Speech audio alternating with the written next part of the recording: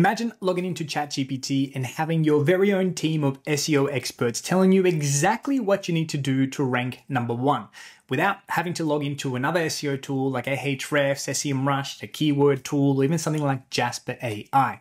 You can do all of that now within ChatGPT. In this video, I'm going to show you how to connect real-time SEO data with ChatGPT, which makes it an incredibly powerful SEO tool. I'm also going to give you some incredible, useful use cases that you can start using today to improve your SEO with this ChatGPT connection. And I've got a quick question before we get started. Have you ever had a bunch of SEO data right in front of you and thought, uh, great, what do I do now? You have the click data, the appearances, and all the errors that you need to fix, but you don't even know where to start. It's a bit like having an IKEA flat pack without the instructions. Sure, it's all technically there, but it's kind of difficult to even know where to get started. Well, this is the solution for that problem. This connection with ChatGPT is going to allow it to do all the search, research for you and also tell you how to fix stuff in a very understandable way. Let's get started right away. You need a couple of things to do this. One, you need an account with DataForSEO. They're going to be the API or the data providers for this. You can sign up and create a free account and they'll give you a couple of dollars free credit to use it, which goes a surprisingly long way when you're using it in this matter. It's also a pay as you go kind of subscription, meaning if you don't use it, you don't pay for it, which two thumbs up in my opinion. You need a link to this GitHub repository. I'm going to leave this below, don't worry. This is going to give us access to all the different API calls that we want to connect the GPT with. And we also need a base 64 encoder. This is going to encode and protect your login details, which you need to give the GPT, allowing you to share this GPT with anyone else. And it doesn't really, you don't have to worry about your login credentials. So the first thing we need to do is make sure we go to the GPTs section and we're going to create a custom GPT because it is with the custom actions that we access the DataForSEO data. And if this gets you a little bit annoyed because you thought you could do it directly from your chat in ChatGPT, don't worry, you will be able to do that. I'm going to show you a trick how to call all of these custom GPTs into the one conversation. You need to name your GPT. I'm going to name it uh, data for SEO example, uh, YouTube. And what I want to do is go to the code, the capabilities, and I want to select code interpreter and data analysis on because we're going to be doing a lot of data analysis. And in actions, we want to click this create new actions button. This is where the magic begins to happen. You want to go to the GitHub link that I've provided below.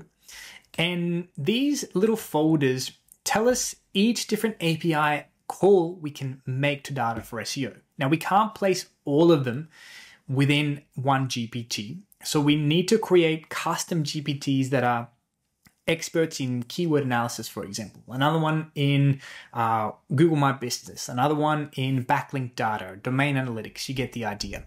But the more versatile out of all the calls is this one here, the DataForSEO Labs. It has so many calls that with this one piece of code, you can practically do an entire SEO strategy. So we're going to copy this raw file.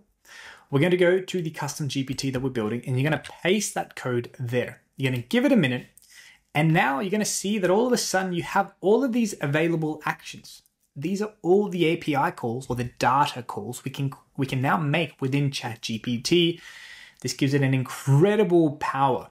Now we're not done yet we need to go to the authentication settings and we need to go to the API key.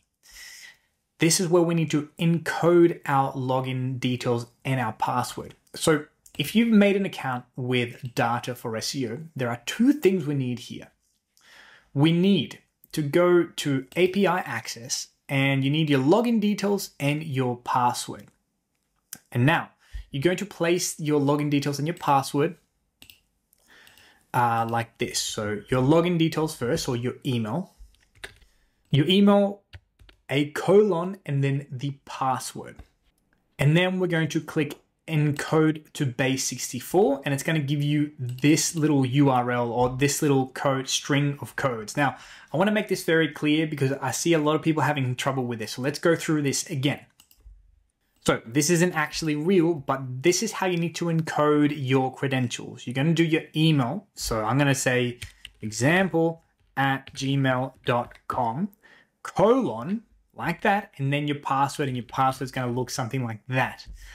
That is what you need to place in here in the base text and then click encode base64 and it's going to give you this an output. Yours will be different. That output is what we need to copy, place into our custom GPT as an API key that is hidden and it's hidden because we've encrypted it essentially. And now we need to save.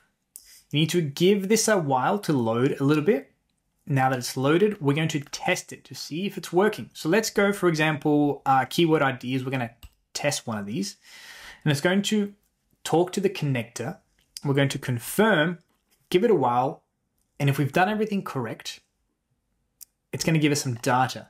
Now it's, it's uh, just chosen a random keyword to test here, but already we see the incredible applications. So we've got, for example, kids electric bike in the United States it's found out the monthly searches for this. Already, this is so powerful. So now that it's working, all you need to do is go back to actions and we can add a set of instructions if you want. You can leave it empty. In our community, we've got a pretty thorough prompt that will turn this into a competitor analysis or a competitor analyzer, I should say, rather. You don't have to use this, but it makes things a lot better and a lot more efficient. Um, I'll leave a link to the community where you can get this here. Now, with that, I'm going to test it out now. And let's pick a website here. You've probably seen us use this one here.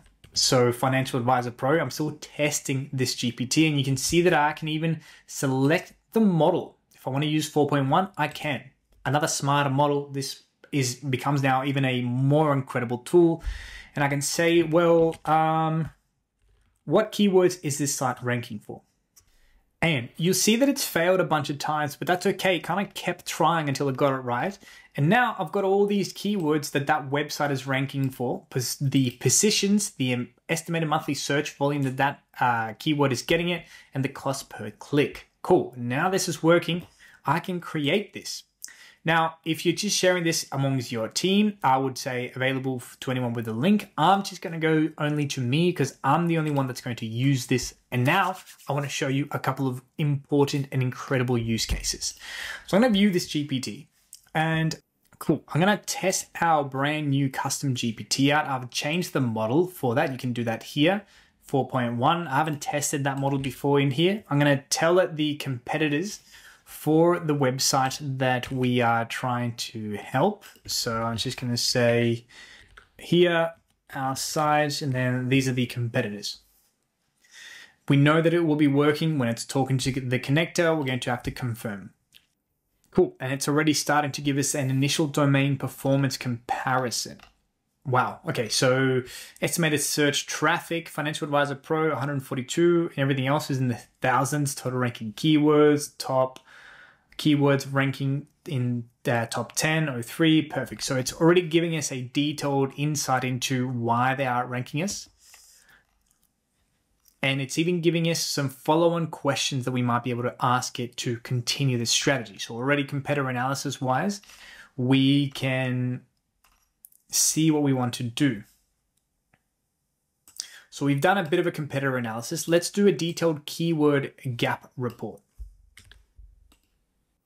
where we know where the competitors rank and we don't. And then what we're going to ask it is for a keyword research report telling us what other keywords we should rank for. And they're getting smarter and smarter. You can see that it has an error because it got too much data in one point, but it found a workaround. Chat GPT is getting a little bit smarter these days, and it might be because I'm using 4.1 instead of 4.40.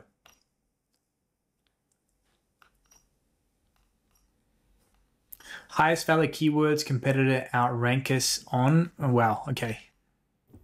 So I can already start seeing that the competitors probably have a bunch of specialized local services uh, areas. So they have a bunch of pages on retirement planning in Tucson, in Kansas, in Mesa, in other sections of Arizona. It's giving me the observations. What does this mean for you? The next step should be, wow, okay. Uh, would you like a priority table with recommendations and actions for the highest potential keyword plus on page specific? Now let's go. Uh, tell me what keywords I might or I should rank for.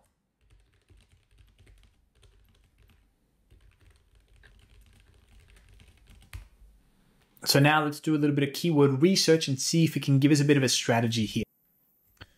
Okay, perfect. Now it's given me some unique opportunities that would take me a lot of time to find because I need to understand the business and then the potential keywords. For example, not all of these are going to be good, but a lot of them are, are not bad. So assets exempted from wealth tax, uh, wealth threshold, that's a good one. Uh, wealth tax unpopular, minimum net wealth tax, Luxembourg beneficiary strategies, third party administrator to fiduciary responsibilities, tax implications of trust distribution. That's a really good one. I know that he provides those services. So already I'm getting quite a good ideas of keywords. Fantastic. So this is all well and good. We've got the kind of three strategies that we just did. We did uh, we did competitor analysis, we did content gap analysis, and we did keyword research pretty easily.